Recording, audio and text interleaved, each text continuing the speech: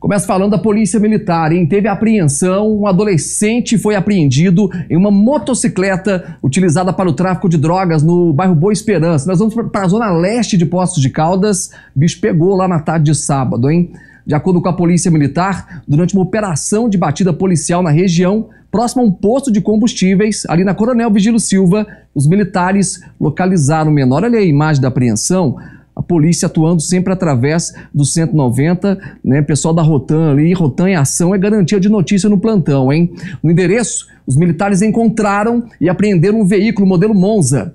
Duas balanças de precisão foram apreendidas, três tabletes de maconha, quatro buchas da mesma droga, além de 21 papelotes de cocaína.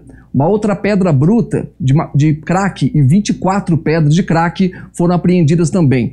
Na imagem ali você vê no detalhe é, plástico né, para dolagem, para embalar a, as drogas. Dinheiro também foi apreendido nessa operação, 207 reais em dinheiro.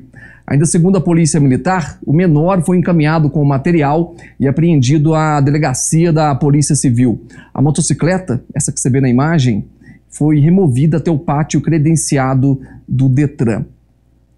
O tráfico de drogas na Zona Leste tem crescido a cada tempo mesmo com tantas operações, tanto por parte da Polícia Civil, como também por parte da Polícia Militar. Nesse caso aí, o menor, né, infelizmente o Estado não oferece uma estrutura, ele faz o famoso bate-volta. Gasta dinheiro do Estado, vai até a delegacia e depois volta para o mundo do, do crime novamente.